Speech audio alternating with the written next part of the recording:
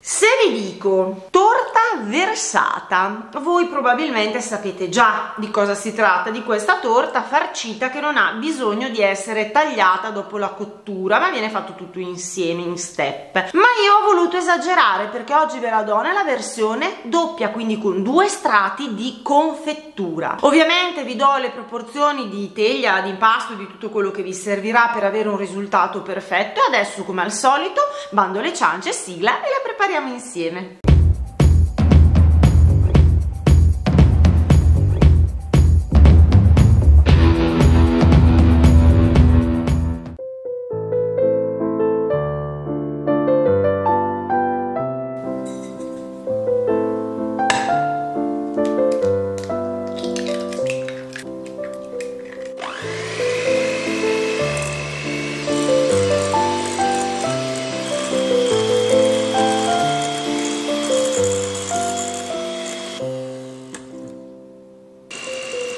Incorporiamo gli ingredienti a velocità minima con movimenti lenti, in questo modo non smonteremo il composto. La farina va aggiunta poca per volta come vi faccio vedere.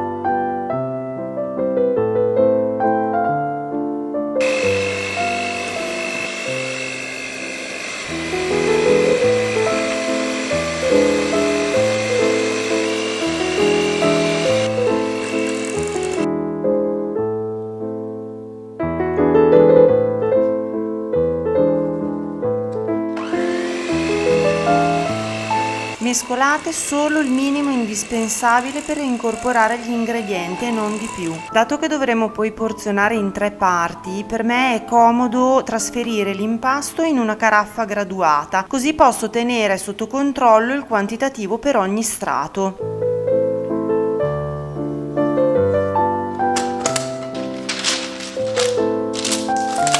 Ogni strato dovrà essere da 300 ml circa, quindi ne versiamo un po' di impasto, poi mettiamo la brocca dritta, lecchiamo bene i bordi e guardiamo quanto ne abbiamo usato. Procediamo piano piano fino a usare il quantitativo che vi ho indicato.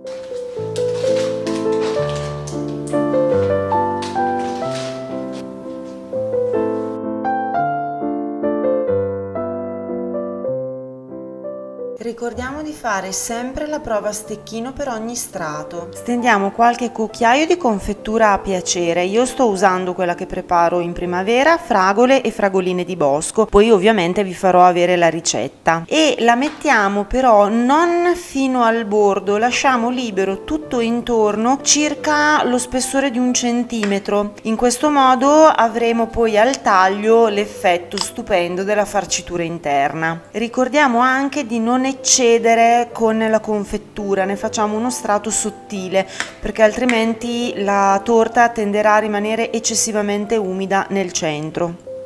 Poi versiamo gli altri 300 ml di impasto partendo dai bordi, andando tutti intorno e poi andando a riempire la parte centrale. Evitiamo di versare tutto in un punto perché altrimenti potremmo sia spostare la confettura sia avere delle difficoltà a redistribuire tutto.